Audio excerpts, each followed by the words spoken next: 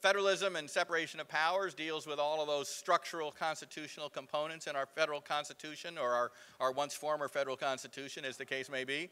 Um, we're going to be looking at one of those uh, issues today and the president's uh, obligation to take care that the laws be faithfully executed. I don't know, that seems to be a hot topic inside the Beltway these days um, and, and to the rest of us in the country. Um, but more importantly, uh, I want to invite you to be more active in participation in this practice group if you're not already already. Uh, if you're interested in uh, uh, helping with the programming or being on the executive committee, uh, send an email to me, John Eastman, J. Eastman at chapman.edu, or let one of the staff at the Federalist Society know of your interest, and we'll circle back to you to get you looped into the activities of this particular practice group at some point. And with that, let me introduce the Honorable Thomas B. Griffith, who is a judge on the D.C. Circuit Court of Appeals, uh, which I think deals something with the President's laws to Uh, uh, faithfully execute the laws. Uh, Judge Griffith is our moderator.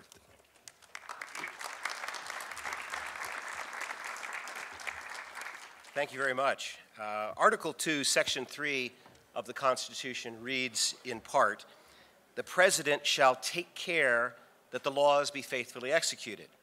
There is general agreement that the executive power includes authority to both execute the law and control its execution by others, but there has been a long standing debate over the scope of the duty the word faithfully implies. George Washington famously said, it is my duty to see the laws executed. To permit them to be trampled upon with impunity would be repugnant to that duty. By contrast, Teddy Roosevelt wrote in his autobiography that the clause meant he could do anything and everything he wanted, absent express legal authority that instructed otherwise. Different strokes. We have assembled a distinguished panel of scholars who will discuss the scope of the President's duty to take care that the laws be faithfully executed. On the one hand, there is no dispute that a president has some discretion to decide upon the meaning of a law and even to determine whether to investigate, apprehend, and prosecute those who violate its terms. The pardon power acknowledges that prosecutorial discretion. And it is equally clear that there are instances when the president is free to choose not to enforce a law that might trench on his Article 2 powers. Seminal Supreme Court cases such as Chadha and Morrison v. Olson saw the Attorney General challenge the constitutionality of a law before the Supreme Court. We saw a similar argument weeks ago in Zivotofsky versus Kerry. In United States versus Windsor, Justice Scalia acknowledged that, quote, the Justice Department's refusal to defend legislation that, in its view, infringes upon presidential powers was entirely reasonable. But then he admonished the government that there was no such justification or any justification for abandoning DOMA which raises the question of what justifications there might be for a president to refuse to enforce or defend an act of Congress that poses no threat to executive power. Few would argue that Jefferson's refusal to prosecute violators of the Sedition Act amounted to a breach of his oath of office. But what of the refusal of the current executive to enforce deportation laws that are admittedly constitutional? Or following Justice Scalia's argument in Windsor, what of the de decision to enforce the provisions of DOMA while refusing to defend the act in court? To some, that approach has marked new boundaries in the scope of the President's take care duty. Today, we'll look forward to hearing from our panel as they discuss and debate the meaning of the take care clause. Uh, we will hear from our panelists in the following order. We'll begin with uh, Ronald Cass, who's uh, Emeritus Dean of Boston University Law School. Uh, former, there are lots of things I could choose from on, on Ron, beside the fact that he was my criminal law professor for a few weeks before I, I changed, uh, uh, had nothing to do with, uh, with Ron, was uh, uh, past chairman of the administrative law section of the American Bar Association, which for, for many years was, a, was ground zero for, for conservatives.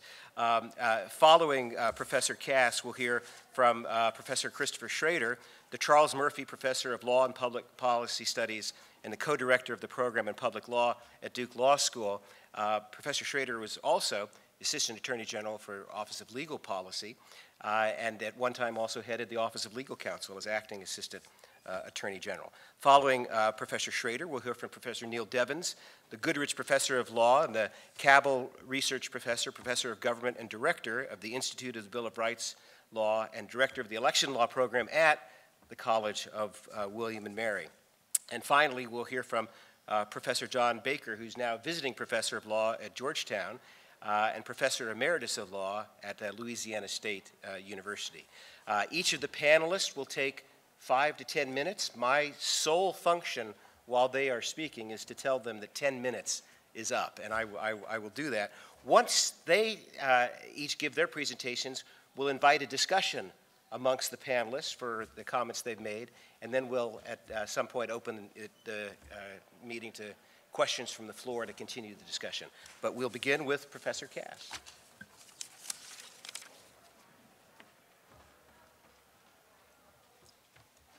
Thanks, Tom. Appreciate the introduction. Um, and actually, you would have gotten a very good grade if you'd stayed. Uh, I, I, need to start with a, a true story.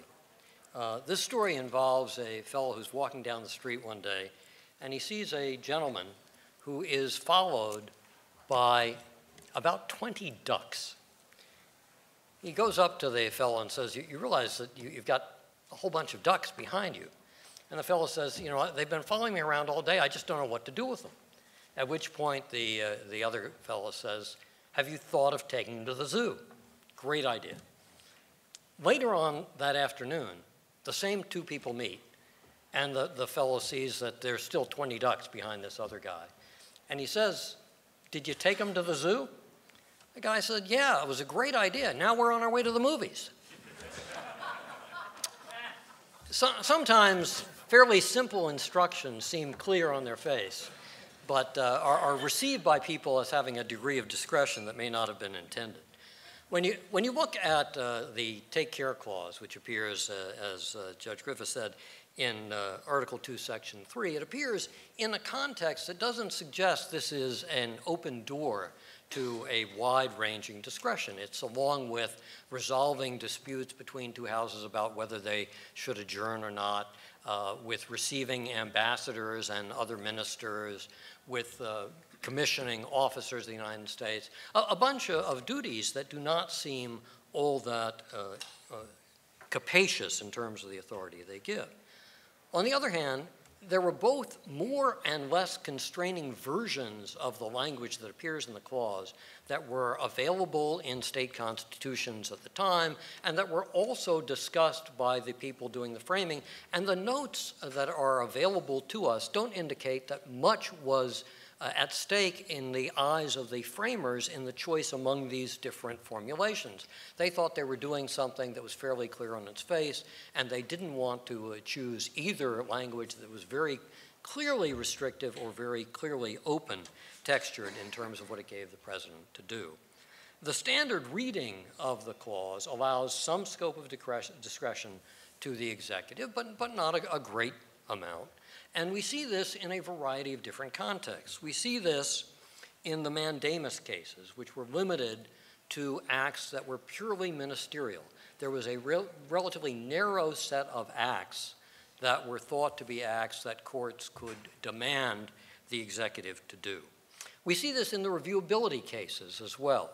Uh, it is thought that a variety of types of executive action are subject to review, but there are some types, such as the decision not to uh, prosecute things or not to engage in certain types of activities, to allocate money that is not specifically appropriated for particular purposes to given uh, resources. Heckler v. Cheney is one that deals with the administrative analog to uh, prosecutorial discretion as a matter of reviewability.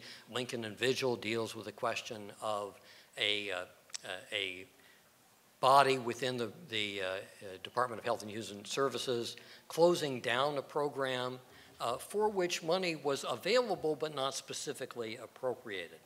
All of these suggest that there is scope for discretion in the executive, particularly when dealing with matters of resource allocation and choices that require some balancing of complicated factors, so long as the statute that gives presidential authority has not been precise in its constraints on the president.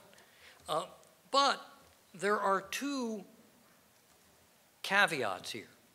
One is that it is certainly within Congress's permit to say to the president, here is something you must do, here is something you must not do. And when the, the Congress gives a very specific direction to the president, the president is supposed to carry out the direction. The other thing that, to note here is that while it is clear there are areas where executive authority has been understood to be discretionary, and I will get back in a moment to prosecutorial discretion, it is quite the, clearly the case that the framers of the Constitution did not contemplate giving discretion to the president to engage in conduct that would punish enemies or opponents, that would change the very basic nature of the law that Congress had written, that would have, on policy grounds, make the sort of selections that would naturally lie in congressional hands and would do so without the checks and balances that operate in Congress.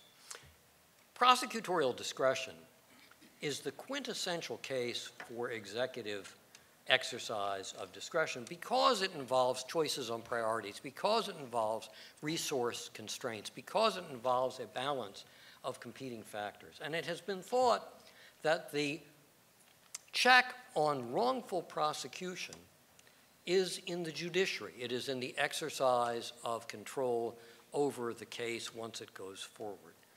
But we look at things like the IRS scandal, and we see the downside of broad prosecutorial discretion. If you have the ability to choose prosecution targets, you also have the ability to choose them in ways that clearly could subvert the democratic process. If you are punishing opponents through the use of prosecution, through the use of enforcement powers, there is nothing that is more inimical to the operation of our form of government the way it's designed than that. And prosecutorial discretion is something that should not be understood to authorize discriminatory enforcement. Those who are in favor of a very broad, open textured reading of the Take Care Clause should be very careful not to be authorizing either that sort of discriminatory enforcement or the sort of policy making that lies more in the hands of Congress than of the President. But we have to be careful about the tools we have to make that work. Because we have two sorts of tools at hand that are possible. One is the tool of impeachment, which is a very blunt tool, it's a very big tool, and it's not a tool that's going to be used for every misuse of office. We have every president has at some point engaged in activity that looks like an end run around congressional decision making. When Franklin Roosevelt struck the deal with Winston Churchill to trade destroyers for bases, he was doing that to get around the Neutrality Act. He was doing it very self consciously to get around the law as it, as it stood. That is not the sort of thing, however, that we are likely to impeach a president for, even though it has serious implications for the rule of law. The second tool we have is litigation. And there too we have a problem because there are only so many sorts of questions that the courts are going to want to get involved in that pit one policy-making branch against another. In the end, what we depend on for the interpretation of this clause in a meaningful and yet sensible way is for the executive to exercise a sense of judiciousness in its discretionary decision making, and for the courts, when an executive gets too far out of bounds, to step in and say, this is as far as you can go and no further. In the end, we want people to understand that when we say take the ducks to the zoo, we mean leave them there, not take them to the movies afterward, and at the same time, we don't want to be counting the steps along the way. Thank you.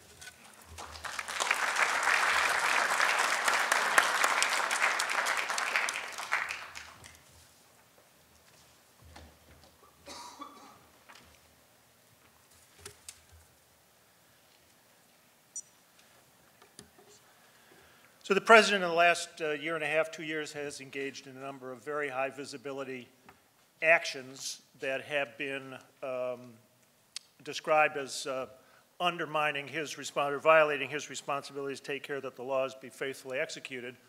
The deferred action on uh, the childhood arrivals, the uh, uh, extension of the employer mandate uh, de- initiation date by the Treasury Department, marijuana policies in states where laws permitting certain uses of marijuana have been marijuana prosecution policies, and so on.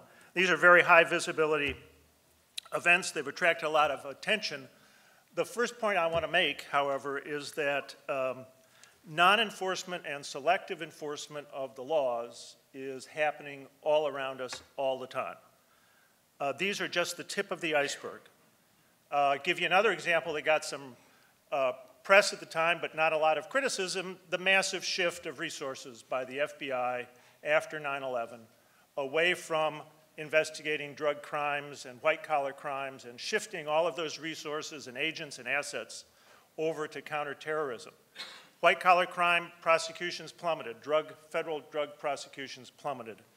That was a conscious decision not to enforce those laws because of a priority setting uh, exigency in that circumstance, but a policy decision nonetheless. It wasn't random, it was, it was a policy which to which we all subscribed and agreed wholeheartedly that we should be more, doing more to fight terrorism and prevent the next attack, but it was a policy non enforcement decision nonetheless.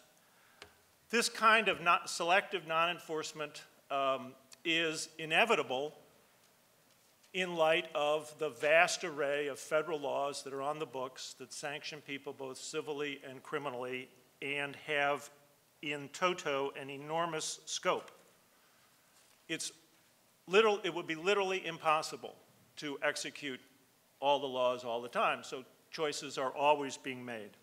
Sometimes they're being made when administrations change. Elections have consequences, and one of the biggest consequences they always have is when a new administration comes in. It has different priorities that are reflected in their enforcement and prosecution policies. Uh, one very um, noticeable example with some regularity, given the, the last changes in administration in, in, my time, has been in the Civil Rights Division of the Justice Department, where the kinds of cases that are priority cases are quite markedly different from Democratic and Republican administrations, and that reflects the policy views and the sense of what deserves the most attention of the, uh, of the differing administrations. Doctrinally, where does, uh, uh, in terms of the case law, where does uh, decisions, uh, prosecutorial discretion decisions uh, and decisions to selectively non-enforce uh, sit? Well, Professor Cass has highlighted the two cases, Heckler and, and, and Chevron. Chevron establishes a proposition. There's another meeting in another room about scaling it back, but here I'm just going to take it as a, as a data point the proposition that unless Congress has spoken to the precise question at issue, it's delegated that decision making to fill in the gaps, the ambiguities, the interpretations, the implementation steps that have to be made in order to translate legislation into actionable uh, um, prescriptions to the executive branch. Heckler was a case brought against the FDA for non enforcement of its law, and in an opinion by Chief Justice Rehnquist, I think Justice Rehnquist at the time, um, he, he, the court concluded that the statute did not compel the prosecution of that matter, and in fact, had rested discretion in the executive branch to such a degree that the prosecutorial discretion that exists on the criminal side eh, applies equally well on the civil side and is practically non reviewable judicially because of the multiplicity of factors involved in those decisions and the lack of any firm benchmark to adjudicate differences among them. The grounding of prosecutorial discretion doesn't rest sheerly on the practical inevitability of its exercise. It was a founding generation presupposition. You can find support for the notion that the executive will exercise prosecutorial discretion in the writings of, of Wilson, of John Marshall, of Madison, of Jefferson, John Adams. And it's considered at some level a bulwark, a, a liberty enhancing bulwark under our system of separation of powers because it compels, before government sanction can be used to, to restrict the liberty of an individual, that all three branches be involved, that the, that the Congress enact legislation, that the executive make an independent decision to prosecute, and that the judiciary then adjudicate that case brought by the government. When the Constitution was written, with the take care clause in it, this background presupposition, I think, was part of the uh, uh, common practice and understanding, and, and the, the notion, uh, the, the, notion of prosecutorial discretion can be traced throughout the, the uh, length of our history, uh, and its use, as I say, uh, occurs literally every day, all the time. Um, so that's sort of the full-throated defense of prosecutorial discretion. There are lots of ins and outs in this conversation. I'll wait to be pushed back and bullied by my panelists and questions uh, afterwards.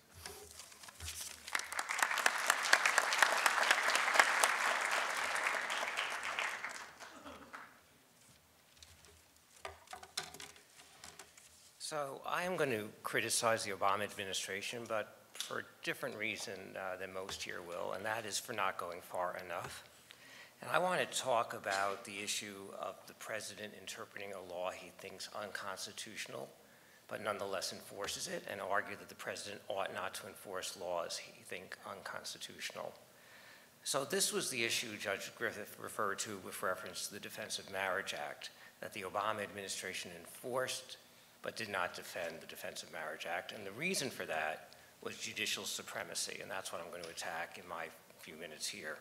So Attorney General Holder said there was an obligation to enforce but not defend because it was necessary to facilitate judicial review so that the courts, quote, should be the final arbiters of constitutional disputes. I think that view is incorrect. If the president thinks a law is unconstitutional, he has no obligation to defend it, he has no obligation to enforce it. This is the view Judge Griffith referred to at the beginning of the panel with reference to Thomas Jefferson and the Alien Sedition Act. So I'll just read what Jefferson had to say and say why I think it's right, and then talk a little bit about the practical implications of that. So Jefferson said the following about the Alien Sedition Act.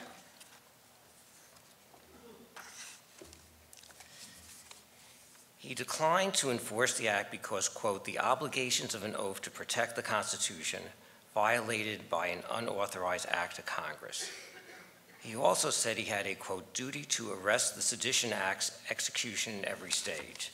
And with respect to the Take Care Clause, excuse me,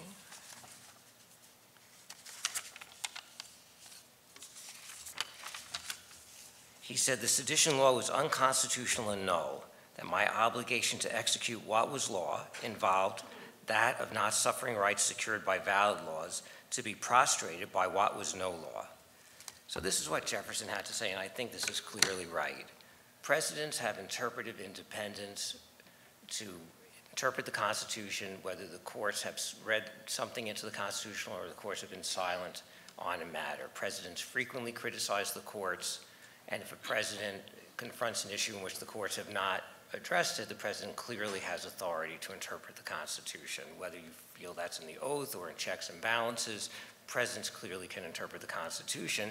So if a president interprets the Constitution and concludes that an act of Congress is unconstitutional, there is no obligation to enforce it at all. It's not law. The faithful execution clause is to execute that which is law. Something which is unconstitutional is not law. There is simply no duty to enforce it and no duty to make a faithless argument in defense of it. And the notion that courts ought to settle these matters just seems plain wrong it undermines both presidential authority and elevates the courts in ways that are inappropriate. Uh, the courts have limited jurisdiction. The executive may take action that is not subject to judicial review because there is no standing for anyone to bring a suit. And the executive may deny a case coming to court by interpreting the Constitution and concluding that a law is invalid or an administrative initiative is invalid, so there's never a case that comes to fruition. So on the law here, and on the constitutional law here, I think there's clearly no duty to execute, no duty to defend the law. Then what about the policy ramifications? Because that is, of course, a major concern of the panelists here today with reference to presidents going too far and not adhering to the take care clause? What are the risks of the president interpreting the Constitution and concluding that there is no obligation to enforce or defend a law he deems unconstitutional? Here, I think there is not much in the way of risk because there are bureaucratic constraints that will prevent the Department of Justice from seeking to find laws that are unconstitutional. Uh, Professor Schroeder might want to comment on this at some point, but the incentives of the Department of Justice are very court-centric. They're incentives that speak to the defense of laws, the enforcement of laws, because for the Justice Department, it's critically important that the courts have as much power as possible, because the more power the courts have, the more power the Justice Department has. So it's not shocking that there are very few examples of the Justice Department seeking to go into court and claim a law is unconstitutional. There are just a handful of examples. Uh, for his part, the president is not looking for these controversies either. The president does not have much of a constitutional vision for the most part. There are very few examples of presidents intervening in cases before the court by the Justice Department and taking a position that forces the Justice Department to modify its argument, particularly with respect to a non-defense situation. Uh, presidents in general want power centralized in the Justice Department. They don't want it dispersed among the agencies. It's much easier for the president to have his policies advanced through a strong Justice Department, and that means a Justice Department that is going to be very much court-centric and want to defend laws. And then finally, the president is also constrained by this reality of panels like this, that if he claims something is unconstitutional and refuses to enforce it, people will claim that the president is overreaching. There will be talks of presidential overreaching, talks in Congress of overreaching, in the press. There'll be a lot of political, public, elite pressure on the president not to travel that road. For all these reasons, I think presidents ought not to enforce laws they think unconstitutional. This will rarely happen, but when it happens, it's better for the president to be honest and to say this law is unconstitutional. Not only will I not defend it, I will not enforce it.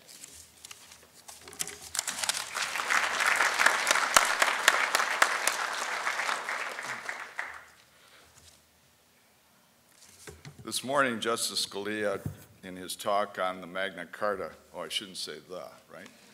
On Magna Carta, reminded us that the rule of law is an ideal that has not always been reached. And in fact, through the centuries, it's been one struggle after another as those who hold political power attempt to subordinate the rule of law to their own will. So in our age, what is it? We constantly go through this from administration to administration. And I want to make three points, the first of which Ron has actually already made.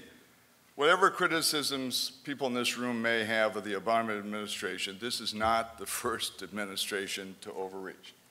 The second is, if we want to really ground an understanding about all of this, we have to talk more about the administrative state. That's what sets all of these possibilities up and there, the responsibility for that mess lies with Congress, not with the president. And the third point I want to make is that having said both of those things, there really is something different about what this administration is doing.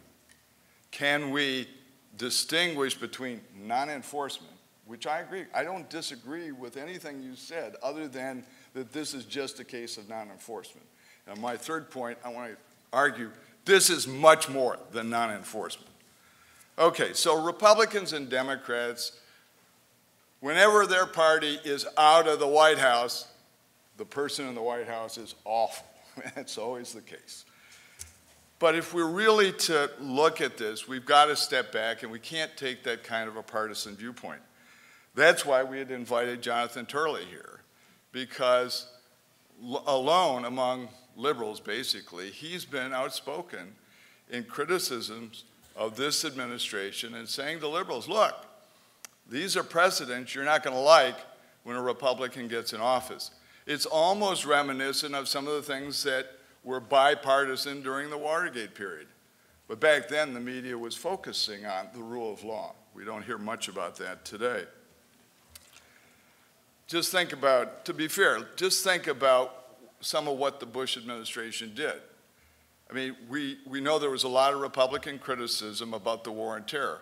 But just think about it in the domestic realm in which the Secretary of the Treasury, Paulson, made these power grabs. And right now, this week, ongoing, still in this town, in the uh, Court of Federal Claims, is Hank Greenberg's suit against the government for grabbing the equity claims of AIG without proper compensation. So there's a lot there that one can criticize in every administration. So, second point, administrative state. This is where it all derives because this is the attack on separation of powers. And after all, this is the separation of powers section, so we should talk a little bit about that. Remember, the progressives hate separation of powers. Read Woodrow Wilson. It slows down democracy. And how are they going to change that? The 17th Amendment to speed things up, take away the control that the states had over the Senate. Secondly, we need technical expertise. We want to move these things into bureaucracies, which also means moving them out of political accountability. Judge, you mentioned the Chadha case. The Chadha case involving legislative veto was a wonderful invention by Congress to make sure that it could maintain control while avoiding accountability. This was not just Democrats. This was not just liberals. It is across the board, almost, unfortunately, in the Congress. This is the root of much of the problem because, unlike the king versus the barons, and the king had most of the power, under separation of powers, it is distributed. So it is a problem not just of power in the executive branch, it's a problem of the power in the other political branch, and it is the interrelationships between them that is causing much of the difficulty. And much of the di difficulty lies in this. As the Federalists said, if you have too many laws, you don't have the rule of law. Why? Because you have all this discretion. That's what the real problem is. And I spent a lot of time on the federalization of crime. And Republican administrations are as bad as Democratic administrations when it comes to their use of discretion in this area. The last point has to do with how this is different. I think the most starkly poignant feature of this administration is the president's claim that I will work with Congress, but if they won't work with me, I'm going to act. I don't know that anyone has ever before made that claim. Maybe in time of war, certainly FDR really did it, but I don't know that he made those public claims. Even Truman, when he grabbed, you know, the steel seizure case, he went to Congress. Oh, and by the way, they didn't do anything. And the court slapped him down. They understood the difference between executing the law and making the law. A huge difference. Now, what I suggest is the second point is not only is this rhetorical claim important because it's educating the public, which doesn't know much about the Constitution anyway, to think that a president can rule this way. Rule. We don't have members of government who rule. They're supposed to govern. There's a big difference between rule and govern. But it's not just, second point, not just non enforcement, it's undermining the law. So, for instance, on the Central American surge that came into the country, Homeland Security said, We had no idea this was coming. January 24th appeared in the federal, whatever it is, the register, an RFP for private contractors to be available to escort an expected surge of Central American youth coming into the country. Months before the surge, they knew it was coming, and we didn't know what was happening. That's undermining the law. That's not just failure to enforce. But all of this should not come as a surprise because what's really going on here is the deliberate creation of crisis. Remember, Rahm Emanuel's famous line never let a, a crisis go un, unused, unwasted. Don't waste a crisis. Where does that come from? Classic Saul Alinsky. Classic. That's what this is about. Because a lot of what actually happens, what they actually end up doing, like on the marijuana thing, I mean, justice shouldn't have been and wasn't enforcing possession of marijuana cases anyway. It was all symbolic and rhetorical. But this claim, together with they can rule and undermining the law, creates a crisis and pushes this, the country into constant government by crisis. That's exactly what the framers tried to avoid because they understood that democratic governments fall apart because of crisis. So they built in, through separation of powers and federalism, stability. Stability. This is the only administration I have ever known of that has as its purpose destabilizing the republic. Remember, this president said as a candidate, I want to be a consequential president. You may think he's incompetent. He's not. You're judging incompetence and effectiveness by an end that we've all agreed on until recently. But if your end is disruption, he's perfectly competent. Thank you.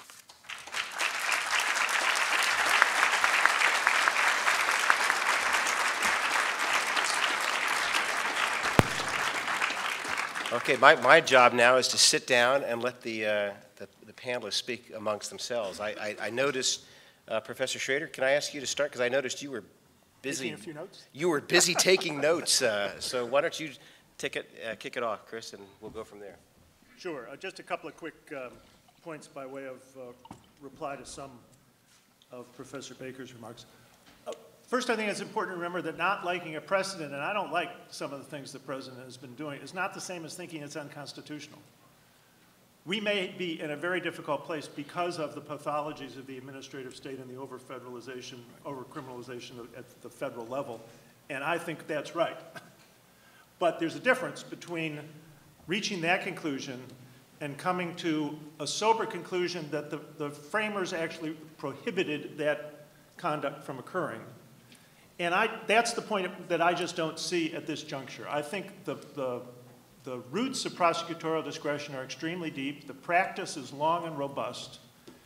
The, the case law is robust. Let me put it this way.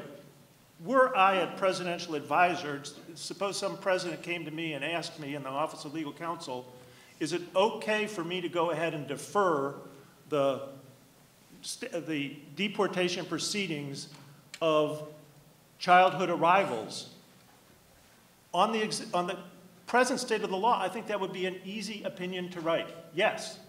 I'm- You- I- if- If you look at the four pages of Secretary Napolitano's opinion, it reads like a classic situation that the, that INS before them and now the Department of Homeland Security has written reflecting a humanitarian concern. The Supreme Court in Arizona versus the U.S. described the immigration laws granting an extraordinary amount of discretion to take equitable and humanitarian factors into account. The only basis on which you could say this is distinct from those historical instances are the number of people involved. But that can't, I, don't know where in the Constitution there's a rule that if the president acts in a way that affects too many people, he's violated the Constitution. So that's my, that's my first point. The second one, and then I'll, I will stop. I have some. So there is a difference between executing the law and making the law, but in the world in which we operate, that distinction's a lot more problematic than you would think. If Congress has enacted a statute that grants discretionary authority for the, for the administrative agency or the president to fill in the gaps, to write the regulations that actually make the statute operative, those regulations, to all intents and purposes, make the law. It's not the Clean Air Act's instruction to the Environmental Protection Agency to have it set ambient air standards at a level requisite to protect the public health that is an operative legal standard. It's the Environmental Protection Agency's implementation, execution of that provision that operates in that way. And I agree that this makes, can make us very uncomfortable. I just don't see the argument for, for unconstitutionality at this juncture. I'm not making one. Go ahead. Well, Just speak into the microphone. Look, the, the, the point, when lawyers and law professors talk about unconstitutionality, they think in terms of something going into the courts and having a court declare it. That's not the argument I'm making at all. I'm making a much more serious argument, that this is undermining the whole foundation of the Constitution. Well, I, think we have to distinguish two different sorts of things. One, Chris spent a lot of time talking about prosecutorial discretion, and I think rightly said that there are some forms of prosecutorial discretion that really are inevitable. You have limited resources, you have a huge range of potential uh, enforcement targets, you have a huge range of things that uh, are going to be on the potential list of things that could be prosecuted. You can't prosecute them all. At that point, you do have to make judgments, and every administration makes those judgments, and we've contemplated that with every administration. I think that, that is a different thing, however, from making a conscious choice in certain cases to select targets on bases that, if they were made publicly known, would be seen as improper. And again, come back to what we have right now on the public record about what happened to the IRS. That is a, a misuse of the right to set priorities. So I think we have to distinguish those. Second, uh, one of the points that John makes, that Jonathan makes, I, think is very important. Uh, John's point about over criminalization. We have a regulatory structure which cranks out tens of thousands of pages of new rules every year. And we have perhaps 10 to, to 100 times as many pages of potential criminal violations on the regulatory side as we have on the statutory side. That provides a framework where not only are you going to have to have discretion and enforcement, but you have the sort of ri- constant risk as a citizen that you're going to be caught in something you're unaware of, unprepared for, and may never have, even if you've known about it, may never have thought it applied to you. We have a case, the Yates case, in front of the court this year that deals with that problem. But that is a very serious problem, and talking in terms of old-fashioned prosecutorial discretion kind of misses the fact that we live in a different world today. Uh, I'm, I'm not sure that, that there's an easy answer for that, but I think that's something we all ought to be aware of. Professor Devins. Yeah, just, just a couple thoughts. Um, So the first is, with respect to checks and balances and separation of powers, it's not often going to be the courts that are going to be the engine of policing checks and balances, as uh, John Baker suggested. It's going to require pressure from Congress to check the president. Uh, And the problem is that the president has very strong incentive to expand presidential power. Whenever the president advances his policy agenda, he makes arguments to expand presidential power. There's a huge collective action problem in Congress. Members trade off institutional interests in order to pursue local interest all the time. Congress being polarized as it is today, the president's party is not particularly interested in checking presidential power, so there are real limits in what Congress can do. Now, of course, we have a new Congress, that's Republican-controlled Congress, and it's quite likely that we will see greater pushback against the Obama administration than the previous Congress, and perhaps checks will be applied through oversight and other mechanisms available to Congress, appropriation bills and whatnot, that were not there before. Uh, But to echo some of what's been said before, you have to draw a distinction between what courts can do versus what the people putting pressure on their officers can do, pressure on lawmakers in particular, uh, and what Congress is willing to do itself. Uh, Over time, the president has always expanded his power because he has incentive to do so consistently. Uh, Congress does not have incentive to expand and defend its turf. Uh, There might be a little bit of an improvement with the uh, new Congress, uh, but in general, the presidential power will always expand, and maybe this will be a fairly depressing note to end this comment.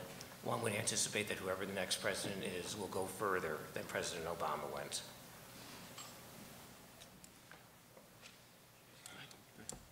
Uh, Again, trying to be even-handed on this, when you're talking about Congress and what it will do, remember, it was Senator Mitch McConnell who proposed two years ago that Congress give the president the ability to simply raise the debt, so that he would give up the Congress's main weapon. And you just wonder, what happened? I mean, what are you doing there? I mean, what do you think this is about? It, it's separation of powers. You don't give your powers away like that. Again, go back and read Federalist 48. The legislative branch is the most dangerous. It will always be scheming. And it's not so much that the president is increasing his power. In fact, the reason I think that the Obama administration in part makes a lot of these outrageous statements is because they really don't have power in certain areas. So for instance, on the immigration thing, there was all this talk about vast amnesty, and there's some element in there, but it's a lot more restricted than the fear was. And, and again, on the marijuana situation, change of policy was not really on the ground any different. It's the rhetorical aspect of this is so important. But when presidents have to rely on rhetoric because they can't get anything done, that's not a healthy state either. What's becoming more powerful is the executive branch. But the president, we know, doesn't have control over administrative agencies that are independent agencies. And even if you've ever worked in any of the agencies, I remember I was working with one agency, USAID, and after the Democrats took over the Senate, we had John Bolton scheduled to speak, and all of a sudden there's all this dithering. Would the Democrats like this? They said, wait a minute, we still have a Republican president. No, but they control our budget. It's all about the money. That's where the control is. That's how Congress maintains its power by appearing to be incompetent, but still getting what it wants.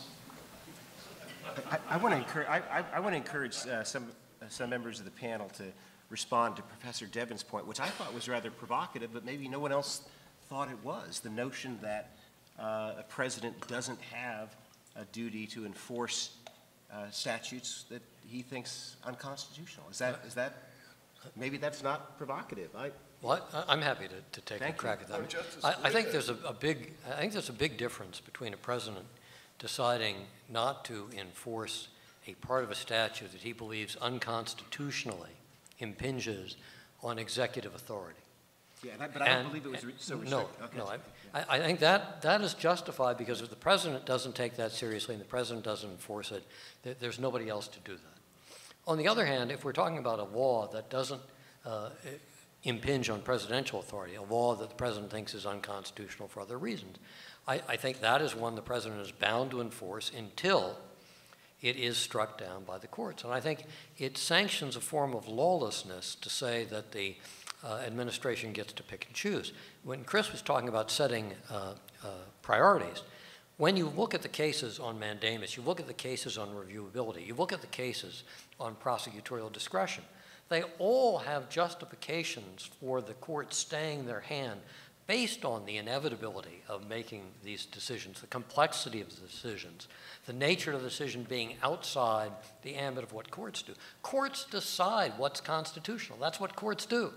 And I think to say that the, uh, the Justice Department or individual prosecutors get to decide when to enforce the law based on their view of it as a general proposition is a dangerous uh, proposition. I, I thought that didn't need responding to, though. Go ahead. Ron, I didn't think I was going to disagree with you on anything, but I do disagree with you on this because, first of all, uh, each of the branches is supposed to have its own constitutional interpretation, responsibility to make interpretation. And the notion that that's what courts do, it's not only what courts do.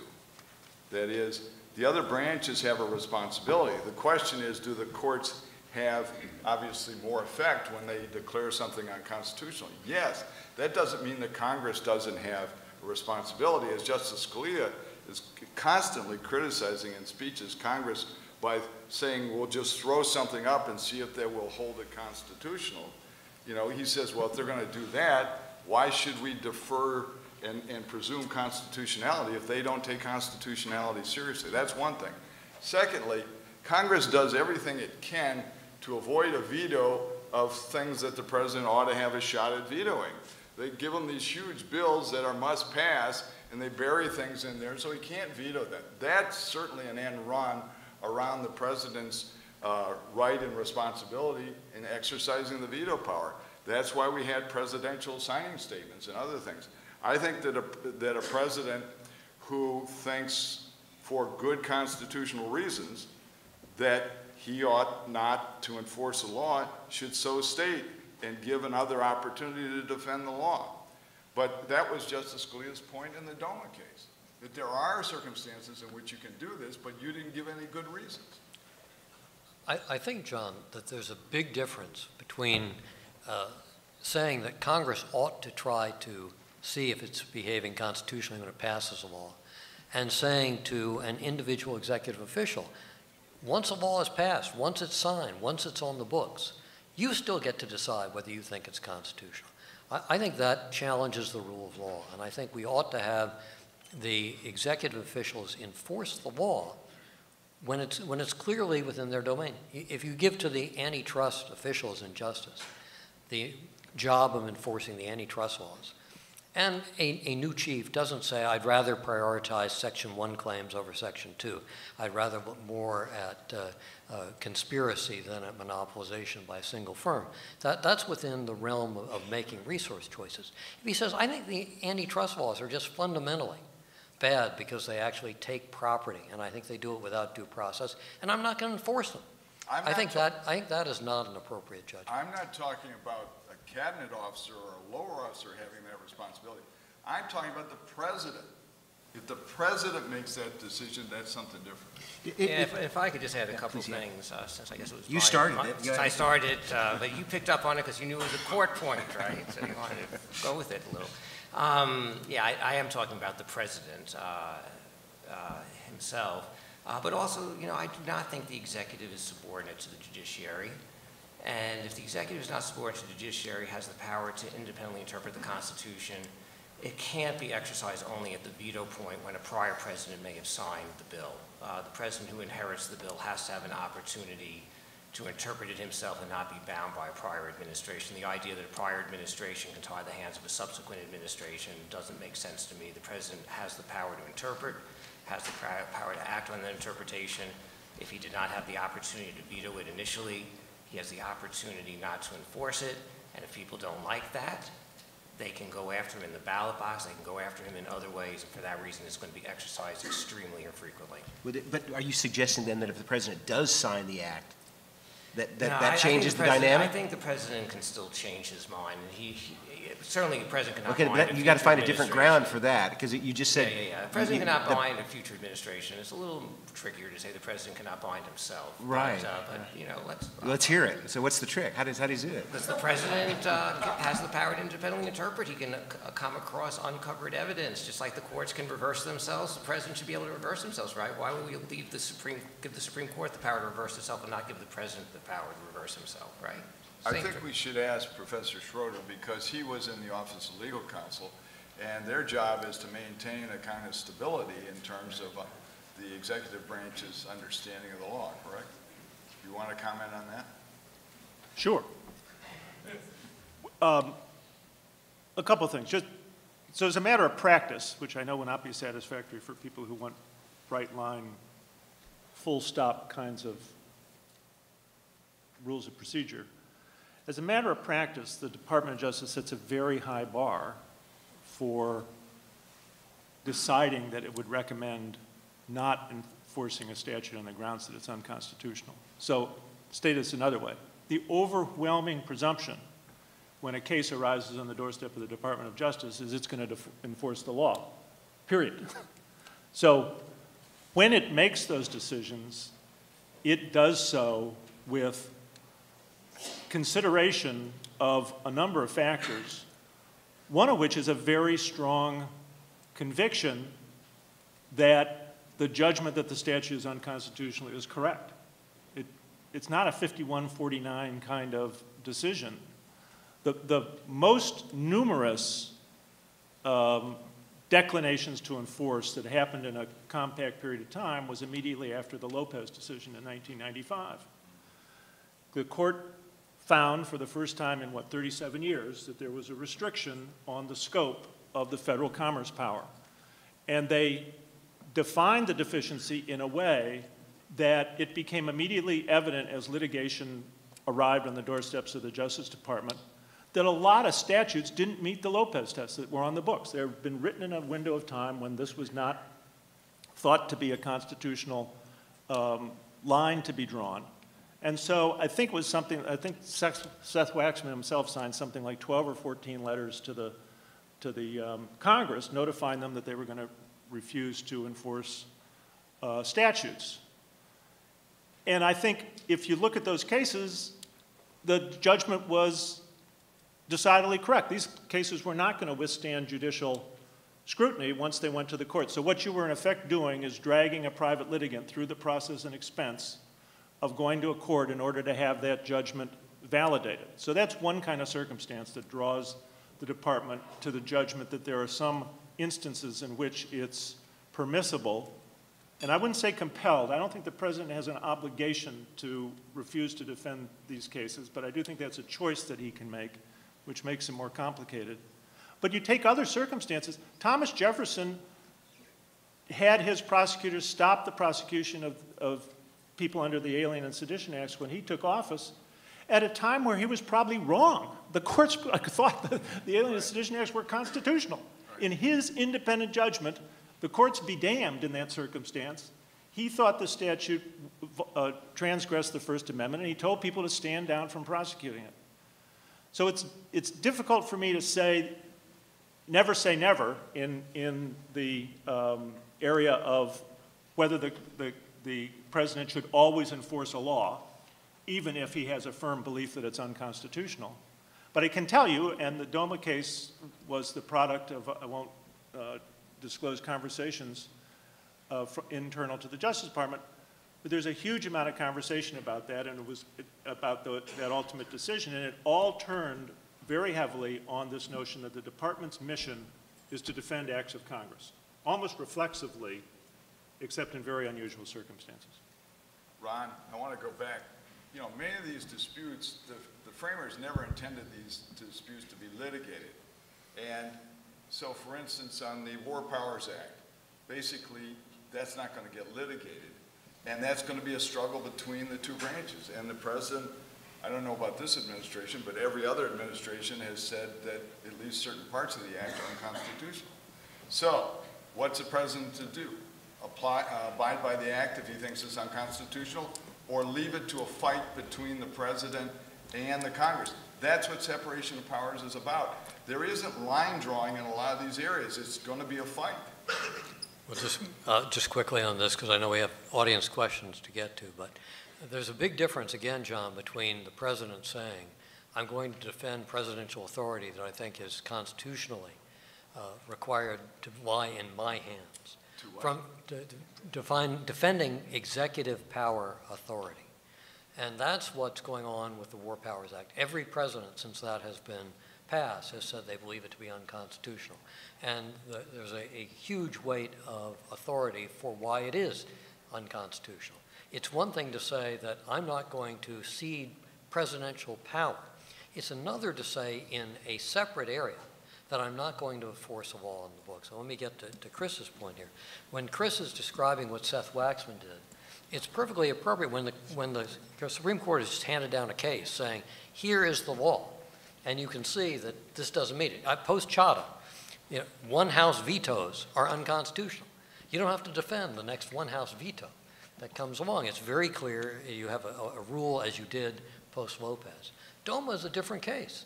DOMA was a case that's a, a highly contestable and highly contested case where you have a division in the viewpoint of whether it is or is not constitutional. And there, it, what was being made was a political judgment. Uh, it's a political judgment that is in legal garb, but it's a political judgment on that case. And I think it's a different sort of judgment. We can talk about whether that's something that people should or shouldn't do, whether that's the sort of role the Justice Department should or shouldn't be playing. But I think that is different in kind from the sort of judgment that was made post Lopez. So, but why is it a political judgment, not a legal judgment? When Thomas Jefferson, as uh, Chris was talking about before, does not prosecute under the Alien and Sedition laws and uh, pardons everyone previously convicted under the laws, uh, does he act inappropriately because that's outside the scope of presidential power and involves individual rights, or does he act appropriately because he's entitled to interpret the Constitution and entitled to reach a judgment different than the courts? Why wouldn't the Obama administration be entitled to say, we can interpret the Constitution, reach a judgment about the DOMA, and we don't know whether the courts will reach the same judgment as us, and we are not bound by their judgment. We have the power to independently interpret and act on that interpretation rather than to transfer that power to the courts. Part of the executive power includes the power to interpret the Constitution and act on that interpretation. With that, let's, let's invite uh, folks, other folks to get involved in the conversation. So if you please line up at the uh, microphones, and of course, the same ground rules. You introduce yourself, and uh, questions, not speeches. And uh, if there's a particular member of the panel you want to direct your question ple- to, please do so. So let's start uh, with this gentleman in the middle, and then we'll move from there. Paul Johnson of New Jersey. Uh, Thank you for an interesting discussion. Enjoyed it. I have a quick comment, a question. Um, Comment to you, Ms., uh, Professor Schroeder. You mentioned earlier about the immigration issue with the unaccompanied minors um, and the president's involvement with that. It may not be that what happened um, violates any provision in the Constitution, but I think his involvement may be considered a high misdemeanor and probably impeachable. So um, you can comment later about that. My question is to Professor uh, Devins. De- Devins? Uh, Devins. Devins, hi. Um, You mentioned uh, during your uh, remarks about uh, DOMA and how that was uh, struck down, but you also talked about, um, your actual point was that the president has a, I guess, a right, perhaps a duty, not to defend laws that he finds to be unconstitutional, or I guess even enforce them. And I, I'm not sure where I come down on that. It's, it's an interesting question, but um, I think it's a problem with stability over time. I don't think you want different presidents not enforcing laws, but I'm not, not sure. But on the question of DOMA, the um, Supreme Court uh, struck down Section 3. Now, suppose uh, we had a President Romney who was in office at the time when it came down, and presumably uh, President Romney would have been in, for, uh, in favor of enforcing DOMA. Would he have had the, the, the duty to basically ignore the court because he believed in it?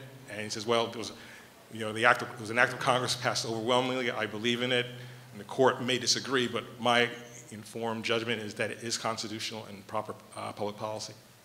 Yeah, I mean, uh, this is a great question.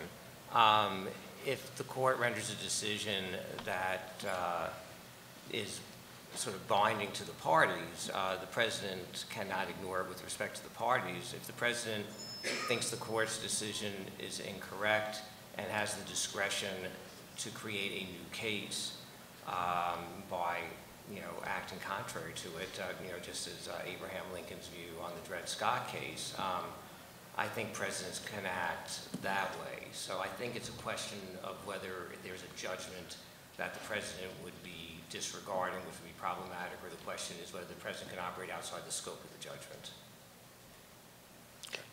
Thank you. Let's go over to the side here. Yes, ma'am. Julie Blake from the West Virginia Attorney General's Office. I have a question generally for the, anyone on the panel who feels like chiming in. Uh, Some of the specific acts,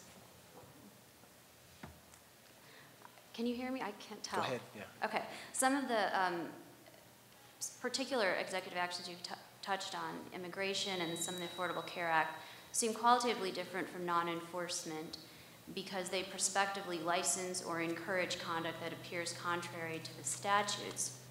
Uh, In the opinion of the panel, does any of that seem to cross into a separate territory of an assertion of a suspending or dispensing power? We'd like to take that. Oh, That was my point, that this is fundamentally different from non-enforcement.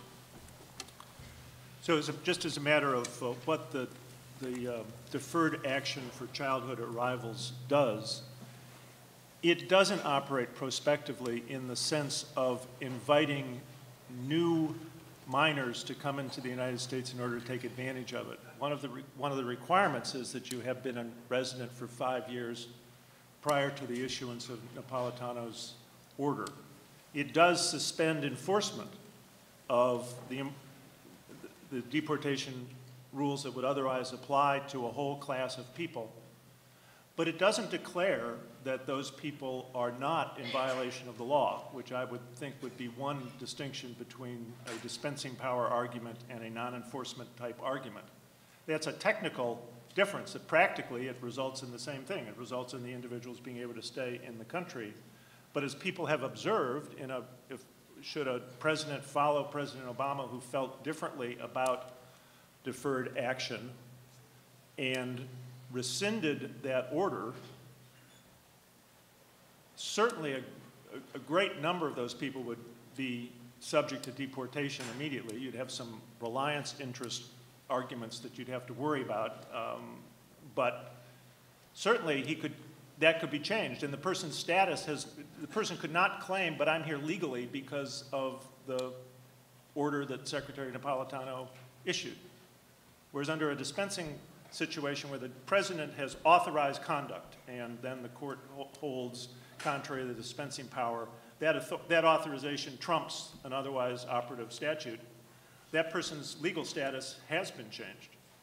That's why dispensing power is a big problem uh, constitutionally. I think that principle is also a bedrock background assumption of the Constitution, uh, and, in some, and admit in some tension with uh, prosecutorial discretion.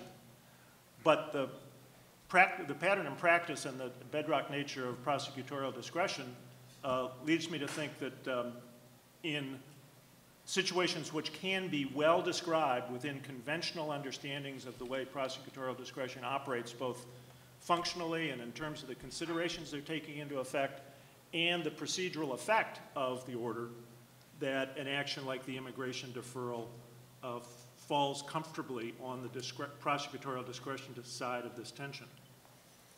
If that were all, you'd have an interesting debate, but the reality is there was more to it than that. There's all kinds of evidence about the triggering that occurred and why the surge occurred when it occurred because of statements made out of Department of Homeland Security. This was a surge that was triggered deliberately out of the, this administration. This was not just them reacting to a humanitarian crisis. That's complete nonsense. Next question from here, yes. My question, I'm Kai Albert, Port Angeles, Washington. My question relates only to laws that do not directly impact presidential powers. To those panel members who believe that a president can selectively not enforce certain of those laws, uh, what are the policy implications of the policy yo-yo we're setting ourselves up for if every president does this? Let's say this president does it with immigration. Next president might decide not to enforce the Voting Rights Act and the Clean Air Act. Four years later, administration changes, those acts are enforced, some others are not enforced. Don't we get a completely dysfunctional government if every administration does this? Uh, to those panel members who do not believe that the president has or ought to have that authority, how does one effectively stop it when it happens? As was pointed out, impeachment is a very blunt tool. Supermajority required to convict has never actually been achieved in 200 years. What, if any, other remedies are there? Or can a president do whatever he wants until the next election and he's voted out of office? I think the question is too overgeneralized. I agree with uh, Professor Schroeder about the, the problem of criminal law. For one, one thing, I've tallied the criminal laws, federal criminal laws, and just in the U.S. Code, it's at least by now 5,000 crimes, not counting those in the regulatory part. There's no way any administration could enforce all of these laws. And in fact, the problem is that Congress passed these things. And they passed them often with no intention that they ever be enforced. They didn't care about that. And this was, this was driven heavily by Republicans since 1970. So you have to distinguish that situation from priorities, as Professor Schroeder said. Every administration is going to have its priorities. And you will see a shift in the Civil Rights Division, as he said, in the Justice Department. And that's perfectly within the, the discretion of the President as long as the statutes are written the way they want, uh, are. If Congress wants to restrain the discretion of the President, they're supposed to do what separation of powers encourages them to do. Write the statute tightly so that it will be actually administered the way you want it administered. The reality is many members of Congress don't care how it's administered until somebody squawks about it.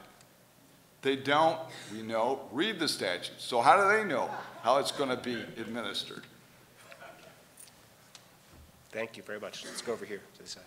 Hello, um, Matt from Ocean, New Jersey. Um, one of the things that struck me is that we often forget, but Panama Refining Company v. Ryan, and this goes to what they're doing across the hall too, but Panama Refining Company v. Ryan and Schechter Poultry Corp the United States were never explicitly overruled. And they were meant to cabin the president's discretion, but they've coexisted side by side with a lot of New Deal cases to the point where we have, I think, general chaos as to what the president's powers are or the limits of the president's power in executing statutes. And w- what I find with this administration, Are we, he- are we headed to a question? we are headed to a Great, okay, good. What's, what's your opinion as to why the president can selectively, not just have disagreements over plain, uh, plain meaning of statutes, but as he's done with Obamacare, selectively enforce when certain mandates are to be enforced or when certain constituent parts of the law are to be enforced? And if you agree that he can do that, is not the problem the fact that the law was passed giving the Department of Health and Human Services a wide swath of discretion to do, this, to do the same? Who would like to take that? Well, the Treasury example is an interesting one uh, because I'm not sure his current legal justification on, on deferring the employer mandate deadline stands up. I just don't have enough information to know. In, in fact, he didn't rely on prosecutorial discretion in that case. He relied upon the General Organic Act of the Internal Revenue Service, which has a kind of umbrella provision that the IRS has the authority to issue regulations to implement the code. And as I look at that from a standing start, it's not at all clear to me that includes the authority to suspend the operative date uh, of uh, the initiation of a tax liability. Now, the Treasury Department will point you to, what, half a dozen instances over the last 30, 35 years in which they've used this authority to defer the effective date of a tax in situations they claim are analogous to this. That is, they start to implement a new tax, discover that there's something complicated about it that is going to make triggering the effective date just on that date difficult either for the IRS or for taxpayers. And so they extend the operative date for some period of time within the range of what they've done now. And they claim they've got that authority under the statute. It's not at all clear to me that a court would sustain that interpretation of that regulation. There is a case uh, in the district court here that was argued last week on this very thing, and, and the first claim by the plaintiffs is that the president has violated Section 3 on terms of faithful execution. And the argument is, as we all know, is by suspending the mandate for some and not for others, it raises his insurance costs. It'd be interesting to see whether they get over the standing hurdle. If they get over the standing hurdle, then we'll find out. Yeah, and just uh, with respect to the way the question was framed, the larger point, uh, it's an issue really of whether Congress will play its institutional role. Of course, things like the non-delegation doctrine essentially leave it Right. to Congress and the White House to work it out, as John Baker was saying earlier. And if you were troubled by the state of things, you need to put pressure on Congress to uh, write tighter laws and to uh, oversee the executive branch in a more comprehensive way, because the courts are leaving it to the political process to resolve these matters. Thank you. Yes, sir. Ilya Somin, George Mason University School of Law. Uh, I guess my question, probably to the, to the entire panel, is whether there's a meaningful difference between non-enforcement and suspension. Because as you've all, many of you correctly point out, non-enforcement happens all the time. For example, virtually no administration enforces marijuana possession laws on college campuses. The last three presidents all have reason to be grateful for that forbearance. Uh, but with respect to the Obamacare case, at least some of what the administration is doing may be going beyond that. They're not merely saying if you don't obey the employer mandate or in some case the individual mandate, we won't go after you. They're saying uh, it's actually legal for you not to obey it until 2016 or until some other uh, point in time. And that, i I think, is different from what he did on immigration. It's different from the, the marijuana case I just mentioned, uh, or at least it could be different. So is there a difference between saying merely we're not going to go after you and saying you have not violated the law, which at least as I read it, is what they have said in the uh, individual employer mandate situations. Thank you. I mean, th- th- there is a difference between the two. You know, one deals with the question of uh, having your priorities in terms of how you're going to use your budget, how you're going to use your resources. You have a limit to what you can do, and the other is a, a formal announcement, basically, that you think the law should be rewritten by you. Um, I, I do think, I, I want to say one more thing about uh, a point that Neal made. and that is that when he talks about the uh, desuetude of the uh, non-delegation doctrine, I think that, that emphasizes the importance of not deferring excessively to administrative decision-making, and I would not be surprised to see the way Chevron is implemented change over the next few years as people come to grips with the fact that if you both have a uh, doctrine that allows free-form delegation and total or near total uh, deference to whatever comes out of the administration, you have a, a real shift in power from what was uh, originally intended. Ilya, a good example of the limits of what the executive branch can do was shown on the marijuana situation when the marijuana dealers in Colorado tried to bank their money. And the banks wouldn't touch it because that would violate the law. And the administration tried to tell them, well, we won't prosecute you. Well, wait a minute. You may not be in office through the period of the statute of limitations. So that's the flip side of this. There are certain restraints that they can't get around, but they try. Great, thank you. Yes, sir. Sure. Roman Buhler with the Madison Coalition. And I just have to say that I was a committee counsel for Congress for 14 years, and we wrote a piece of a statute, and I sat in the first meeting of a commission where they decided to completely violate the statute and nobody did anything about it. My question to you is, if you look at this as a problem, as some of you talked about, of abuse of presidential power, do, would it help uh, to at least somewhat constrain executive power if Congress had to approve major new federal regulations, either because Congress passed a law or because in the same way that two-thirds of the states forced, or the states forced Congress to propose the Bill of Rights, uh, states got together and forced Congress to propose a constitutional amendment to require that regulations be approved by Congress. There, there is a proposal, the REINS Act, floating around to do that. What do you think of it? That's my question. I mean, the, the, the simple answer is the more you require congressional involvement, uh, the more you bring things back to the uh, original assignment of powers. On the other hand, if you set the threshold too low, you get into situations like automatic sunset you, you have them exempted all the time if the, the threshold is at a point where it's just going to be too much of a bother to look at the law each time, the regulation each time, the proposed rule each time. So if you have a high enough threshold, you have a serious enough look at it, uh, yes, it changes the dynamic. Great, thank you. Yes, sir.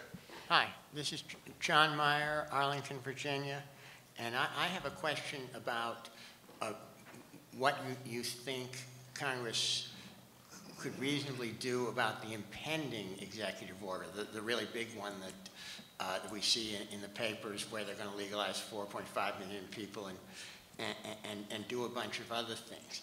And as was said, impeachment is excessive uh, and won't work without support from the other party, uh, even if it should be done.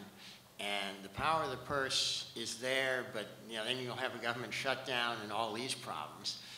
It's probably what needs to be done. But uh, I'm interested in is your idea of another alternative, which would be the alternative of Congress defending its prerogatives by passing a concurrent resolution, which cannot be vetoed. It's, uh, it's simply an action of both houses of Congress, declaring that either the whole executive order or most of it is a usurpation of legislative power, is null and void, and then perhaps giving it, Congress saying we will pursue this by the, the means that, that, are, uh, that we, we have. But the, the, key idea is that this concurrent resolution could be done, done quickly, and lay down a clear marker that uh, this isn't a constitutional in Congress's view, undermine any legitimacy it may have, and what do you think in particular, I'd ask uh, uh, Professor Baker? Well, it's not going to happen until early January anyway, which is going to be too late in terms of stopping the actual action, which is contemplated next week according to a leaked report today. And then the, the problem with resolution is, wait a minute, what's the effect of a resolution? Is it law? It's not a law. It hadn't been up for veto. Is it going to be vetoed? I mean, So sometimes Congress will pass resolutions when they don't want to do anything, but they want to tell the voters they've done something. So I don't think much of resolutions. It's about power, and the power is in the money. And uh, Ryan and others have said, you know, we're going to stop you from implementing this through the power of the purse. That's about the only thing they have at this point. So you wouldn't think it would be good as an opening shot? It's, it's one of those feel-good things that don't have, I mean, look, if the president's going to sit in a meeting with them and thumb his nose at them, do you think a resolution is going to change his mind? I don't. And the president also claims he has lawful authority to do this. So if a new Congress says, we think the law is different than you think the law, the president can essentially say, well, that's a new law that I could veto.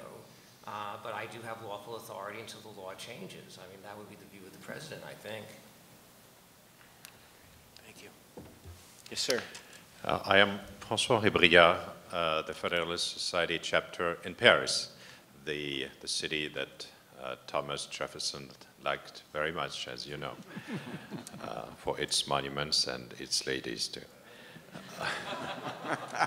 um, I have been a, a non-American observer of the American Constitution for 25 years, and I have two questions related to the panel, and I want to thank the panelists for such a great discussion. It made uh, me think of our president, by the way.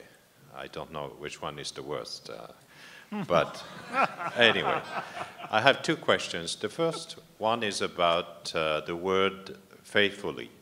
The word faithfully is both in the take care clause and also in the oath of office. So my question is uh, simple. Is the meaning the same to you? And my second question is about the misuse of powers by the president. In our country, any citizen can sue the president uh, before the Supreme Court, pretending he or she uh, is misusing uh, his powers. This is what we call the détournement de pouvoir. Uh, is there any uh, way uh, of that nature in your country to challenge the decisions of the president? Thank you.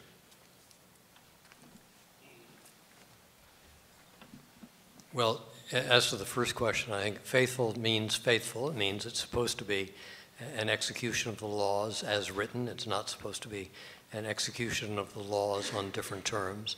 Um, of course, all of the, the action is in figuring out how that actually works in practice. Um, as to the, the second question, uh, there is no uh, exact analog to the cause of action you have in France. You, you need standing, you need a, a direct injury, you need uh, a particular uh, action that is being challenged uh, either under uh, the terms of the Administrative Procedure Act or some other particular grant of authority to hear the case. So it's a, a little different, but there are avenues for challenging an awful lot of the administrative decisions here, and I'm glad to have you here with us. Thank you very much. Kristen McDaniel, Byrne Maynard and Parsons in Houston.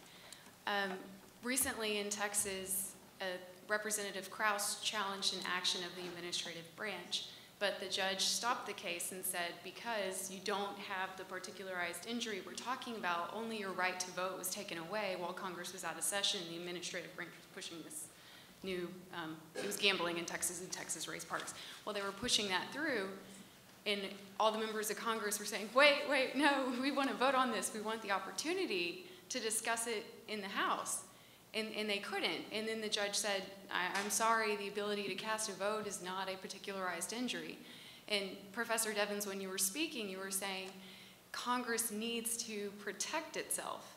And, and so knowing recently in Texas, you know, we can't, knowing that at the Supreme Court level, Congress has been told we can't, what can they do? Well, um, I mean, so the availability of the courts and the standing of lawmakers is quite constrained from the Raines v. Byrd case, the circumstances by which lawmakers can challenge uh, executive action or acts of Congress for that matter.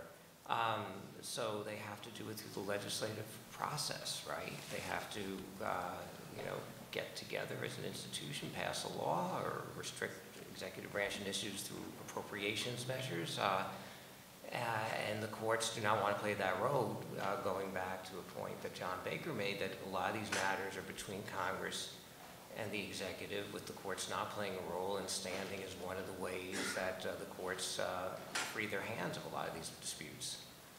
But isn't there an issue that when the issue actually make it, makes it to Congress, like, let's say the, you know, drug use goes through while Congress is out of session, and Congress can't call itself back into session, and if they want to overturn it, don't they know that now we're up against a two-thirds vote?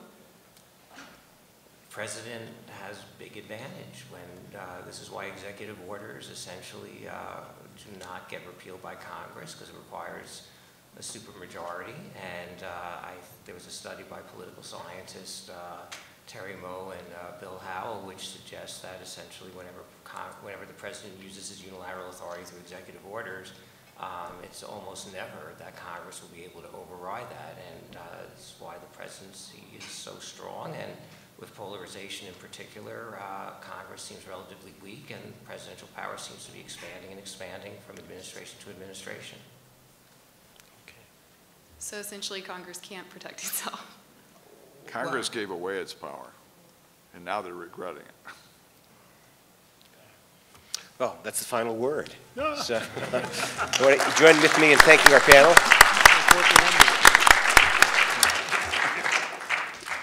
Off to the dinner. Thank you. No, I'm